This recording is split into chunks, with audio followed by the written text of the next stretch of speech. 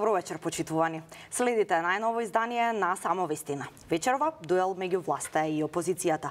За актуелните политички и економски теми разговарам со Андреј Петров, член на извршниот одбор на СДСМ. Добро вечер. Добро вечер. И Владко Ѓурчев, член на извршниот комитет на ВМРО ДПМН. Добро вечер и за вас. Добро вечер, поздрав до вас и вашите гледачи. А, господа, ќе почнеме со една информација што денеска ја скандализираше јавноста за одлуката на владата 28 годишна ТВ презентерка а, да стане генерален конзул на Македонија во Њујорк. Одлуката според информациите била донесена на затворена седница на владата по предлог на Министерството за надворешни работи. Иако ние побаравме одговор од МНР за сега нема образложение по кои критериуми ЕЈУПИ е номинирана со оглед на тоа што нема никакво дипломатско искуство.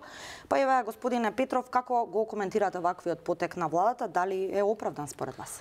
Не ми е познато. Јас сега слушнав пред малку. Она што можам да кажам е дека јас се залагам за професионализација во сите сфери на, на живење, во сите области, вклучително и во таа област, што се однесува до тоа се работи за ингеренции во Министерството за надворешни работи. Во рамки на ингеренциите на Министерството за надворешни работи слушна вака накратко пред влегувањето кај вас во студио и логично е она што го тврди и председателот на државата и дека тоа не е во ранг на амбасадор, па тој се сложил или не се сложил го именува работа која министерот за надворешни работи да, треба да треба да предлог, да треба да, да, да, да ја предложи и треба да води сметка за компетентноста за кандидатот. Личноста што спомнувате ниту ја познавам, не знам за каква личност се работи, логично е дека треба да биде човек кој е квалитетен, кој одговара на на квалификациите за за таа работа. Но пак со ограда не е нешто што ми е познато. А, да, чисто за, за информација, а, самата таа во својата биографија навела кога конкурирала до собранието за член во комисијата за заштита од дискриминација, а, има наведено единствено дека работела како презентер во неколку телевизии.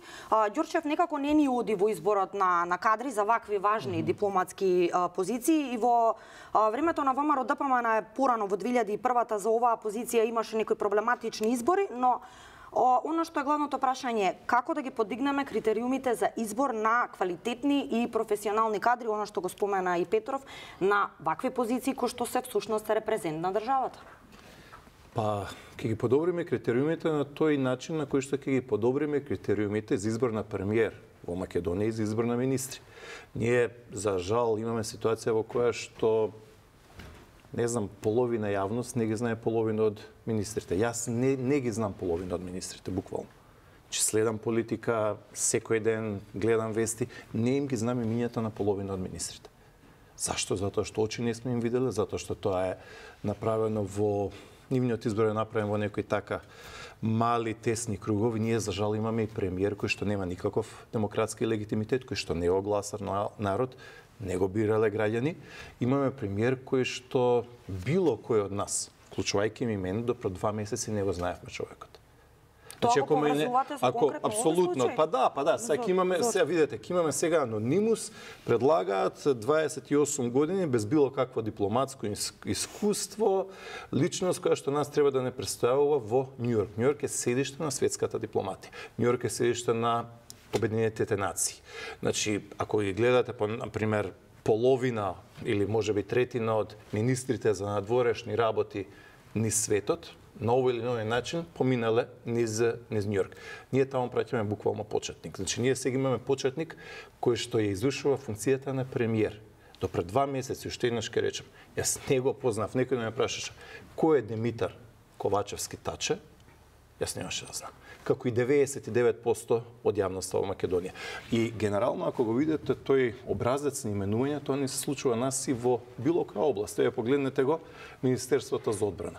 Во Министерството за одбрана нас ни е министерка за одбрана Славјанка Петровска, така? Која знаел незе пред 2, 3 или 4 месеци? Која е незината референца? Порано, за министри за одбрана, оваа држава и оваа Македонија, ги имала луѓе како Благој Ханџиски Иако бил од СДСМ, Благој Ханџиски бил фигура, име и презиме, човек кој што давал самодоверба на целата македонска јавност, на војниците, на офицерите, на старешините. Министар за одбрана бил Никола Клюсев. Министар за одбрана бил експерт како што е Трајан Гоцевски. Министар за одбрана бил еден да, Зоран Јолевски, Зоран да. Кањановски, а, министар за одбрана, па и Радмила Шекеринска е политички три копја над Славјанка Петровска. Сега само со да, да резимирам. Да. Сега имаме ситуација каде што генерали ќе треба да салутираат, ќе треба да се нареди батальон или бригада и да салутираат пред Славјанка Петровска. Значи, мислам дека на тој начин, со дерогирање на овие функции кои што ги имаме, имаме едноставно дерогирање на целиот систем и тоа го гледаме сега еве и со оваа личност која што е предложена за генерален консул во Њујорк. Имате реплика? Мислам дека воопшто не е точна тезата дека нема политички легитимитет Димитар Ковачевски и дека не е избран на избори.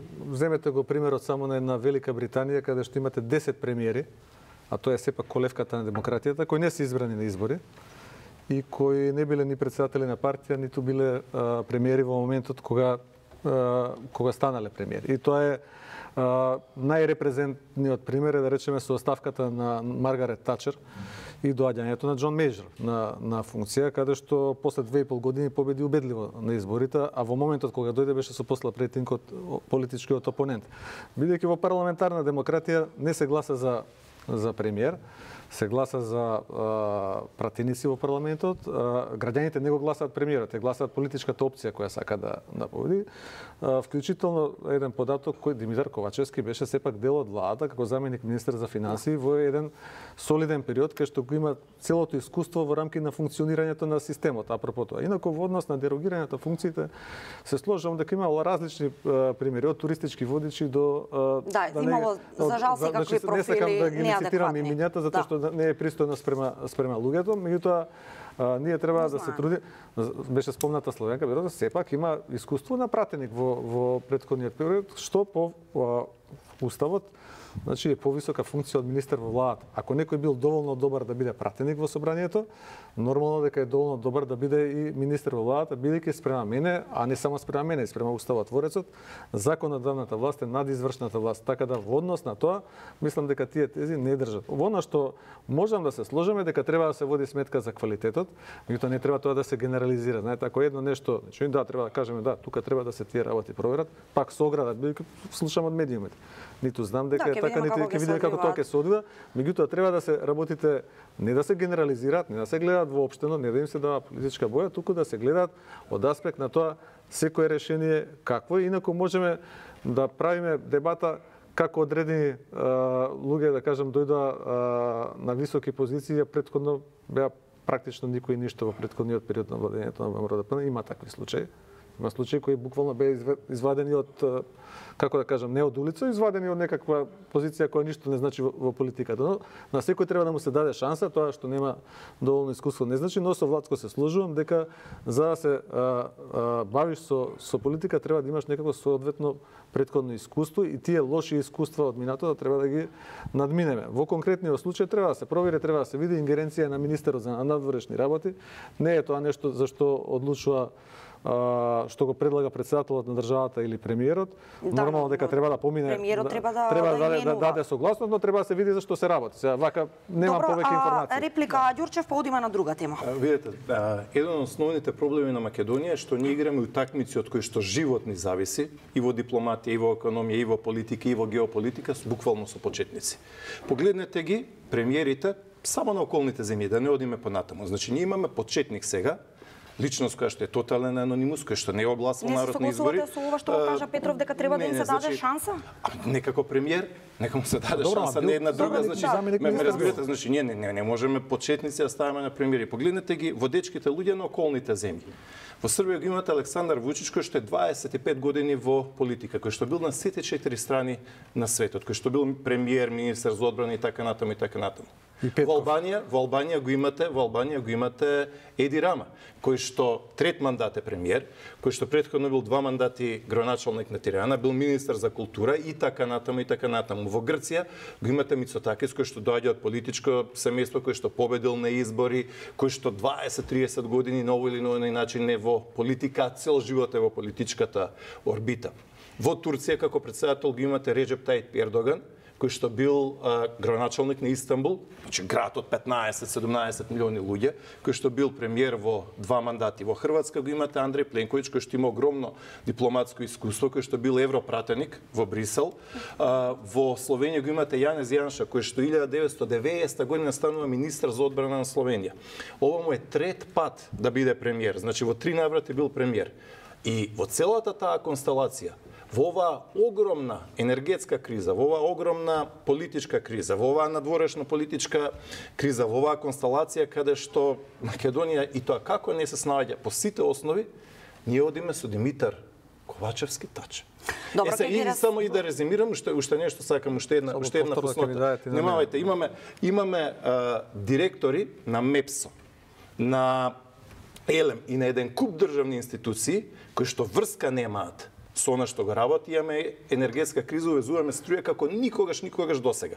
Имаме Ќе дојдеме и до имаме, тоа, да, имаме точка точка. за култура, имаме министарка за култура, на која што едина референција, на која што името не го знам, е дека дошла во скафандер во собрание. Се имаме изборна имаме влада министар, имаме министар за диаспора, за кој што ништо не знаеме, освен дека бил свештено лице од Дебар. Во ред, легитимно е свештено лице, бил професија. човекот во Дебар, но дали има некоја референца во делот на во делот на на на, на диаспората и работа со а, емигрантските организации?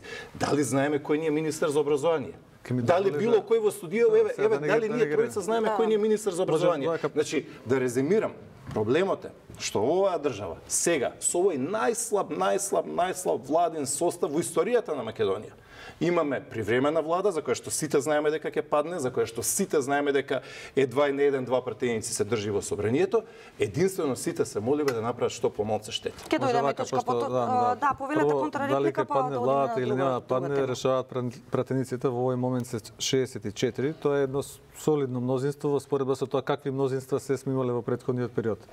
Точно е дека има луѓе кои имаат во, во околните земји со политичко искуство, имаме и спротивни примери. Еден Петков кој реално за разлика од Димитар Ковачевски кој бил и менаџер на неколку позиции, бил и заменик министер дел член практично од владиниот состав, не бил никој ништо освен што има некаква кариера а, предходна, значи а, референција од академскиот а, свет. А, меѓутоа исто така имаме и ние, ајде не да одиме далеко, да видиме во Македонија.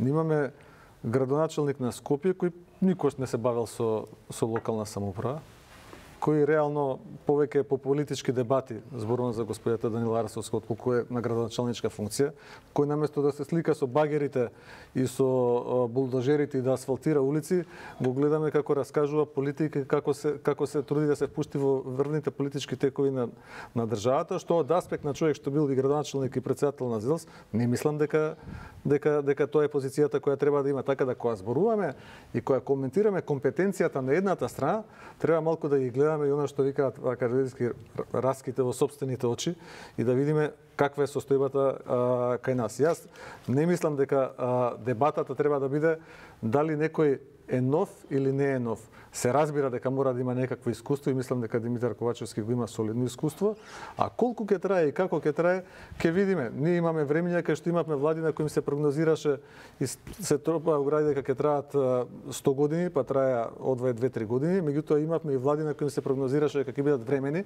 како она на Црвенковски во а, 92-та година, па остана 6 години, 6 и пол години на власт. Добро, ќе видиме. само- само- а, само еден да, краток а, одговор, Само молам. кратко ве молам Значи, за во интерес на значи, времето видете, да фатиме што повеќе има, теми. Има, има, има огромна разлика помеѓу Данила Арсовска и како беше Димитар Ковачевски Тача. Значи има огромна огромна разлика затоа што Арсовска буквално вчера, 3-4 месеци, ја бира 120.000 граѓани на Скопје.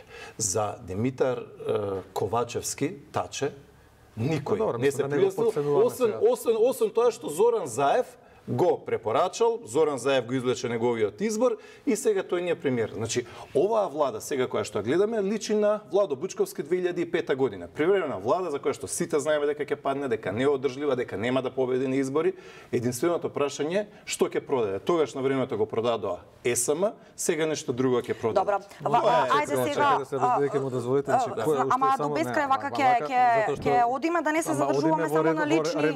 Ајде, ајде во ред, па сакам да ќе ми дозволите дозволите да Воопшто преминеме не на е друга точно дека некоја влада е времена или не е времена. Владите имаат мандат од 4 години, колку што им го налага уставот. Како ќе се покажат, ќе видиме. Оваа влада за три недели ефикасно го реши проблемот со парно грењето во Скопје, ефикасно го реши проблемот со невидена енергетска криза која е глобален светски проблем, ефикасно го реши почетокот на децата во училиштето во, во ковид пандемија. Оваа влада ја зголеми минималната плата за само три недели на 18.000, ако зборуваме каков е стартот и ако таков е стартот, добар ќе биде и крајот. Добро, ќе ги офатиме точка по точка сите и а, економската криза и енергетската, но најпрво додека сме кај политичките прашања. Би сакала да се осврнеме малку на односите со со источниот сосед. Конкретно Петров лидерот на ВМРО ДПМН Мицковски го повика премиерот Ковачевски на обединување за државните интереси како што кажа. Тој пак ваквиот повик го оцени како неискрен и ги овини ВМРО ДПМН за креирање на како што рече хистерија за разговорите со Бугарија. СДСМ исто така не ја поддржа декларацијата за Гоце Делчев од ВМРО ДПМН во собранието. Зошто е тешко власта и опозицијата да се обединат за важните прашања во земјава. Не е тешко ако има искреност. Она што го рекол и премиерот Ковачевски, ако е искрена желбата да се направи некаков заеднички став, не е тешко. Секоја власт има потреба од опозицијата да помогне. за неискрена? Па еве ќе ви кажам зошто. Затоа што владата и премиерот Ковачевски му понуди на, на главниот опонент, на господинот Мисковски, да делегира по еден представник во секоја од тие комисии.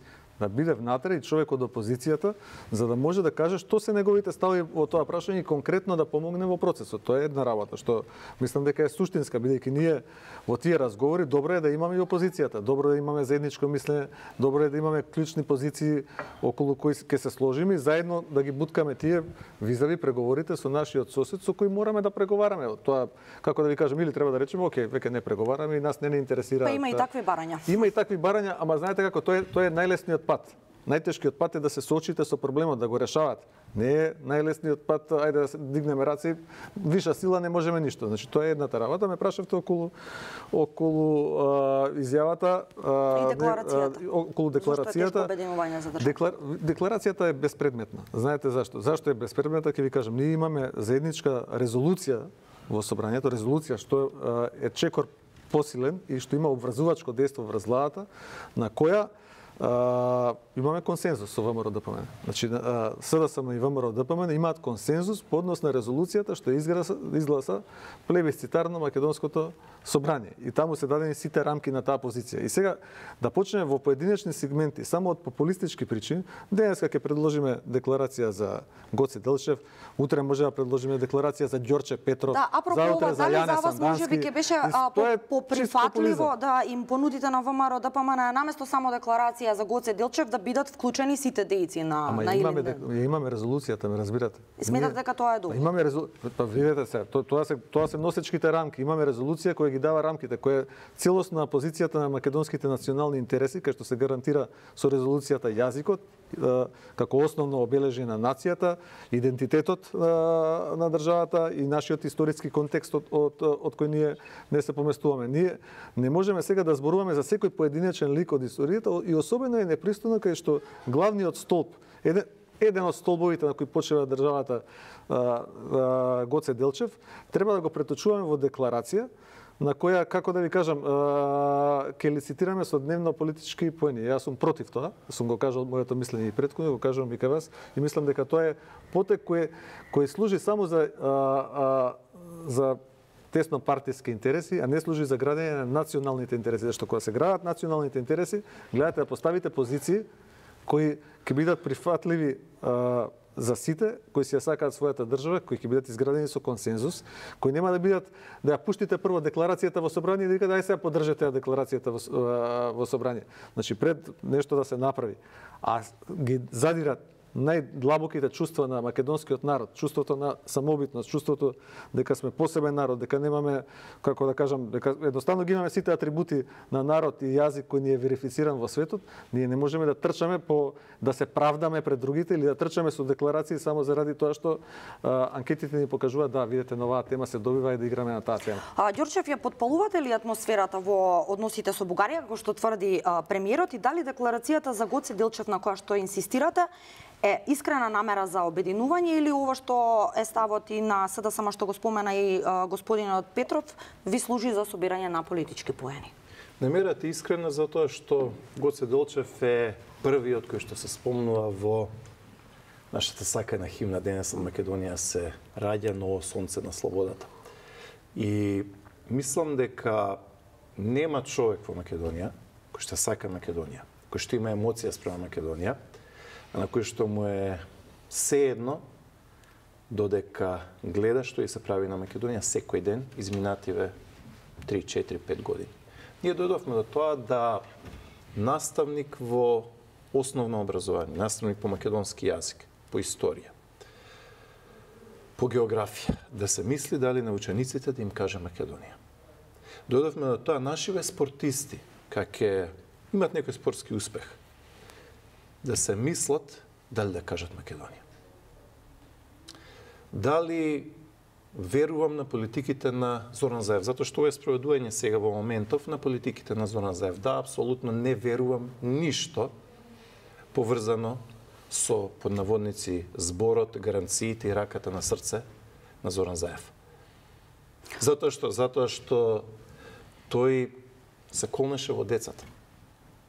Во овој цитирам македонски воздух што го дишам, дека нема да го смени името на Македонија, Па дојдовме до тоа да сега секој се мисли дали ќе каже во Македонија, што ќе постира на Фейсбук или дали да треба да прегриза јазик. Дојдовме до тоа да македонскиот народ има грудка во срцето и се мисли една тешка, тешка воздишка, дојка ги слави 8 септември, 2 август или 11 октомври. Никош не било така.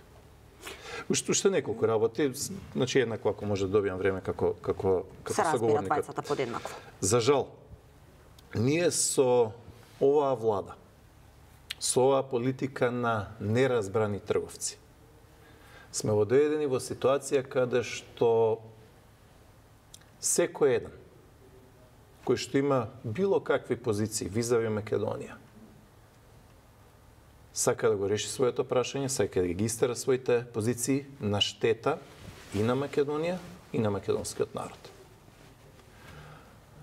Јас би сакал да во СДС имаше повеќе слух и да ние воспоставиме некој канал, некој контакт на разбирање, каде што надвор од камери, изјави, дебати и слично, ќе седнеме како одговорни луѓе кои што се сакаат Македонија и речеме ајде да видиме што можеме ние да направиме. И тоа не е ништо ново. Тоа го прават и власт и опозиција во сите демократски земји во светот. Очигледно кај нас е тешко. Во сите, да.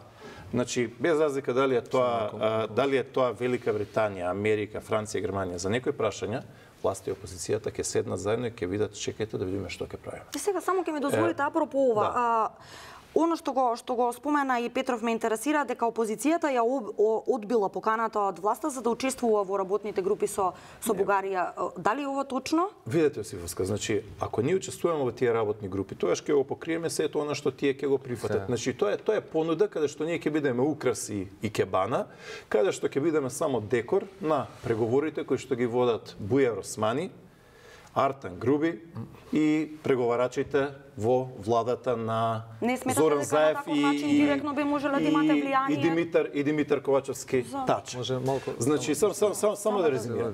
Значи на нас за две години ако гледате. Ако гледате позициите на самонимните партиски соопштени, изјавите на Зоран Заев, а сега и на Димитар Ковачевски, тие ни велат дека не знам, на пример, Красимир Карачкачанов е добронамерен кон Македонија, За Красимир Каракачанов во Скопје има црвен тепих. Не е точно. Каде што каде што тој оди од споменик до споменик и вели за овој мислам вака, за овој мислам така, прес конференциите со Шекеринска, со Зоран Заев и така натаму, а истовремено истиот тој СДСМ кој што направи црвен тепих на Каракачанов и кој што вела дека е пријател на Македонија, истовремено ги сатанизира и Христијан Мицковски, и Гордана Силјановска, и Тимчо Муцунски и сите останати. Може, да. Значи, јас јас не сакам, јас не сакам да да мислам или да верувам дека луѓето кои што преговараат од СДСМ и мислат лошо на Македонија.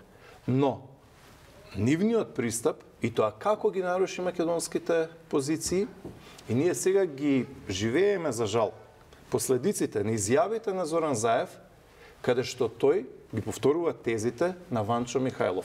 Зоран Заев кажа пред македонска јавност и тука во Скопје во интервју и во Софија две држави, еден народ.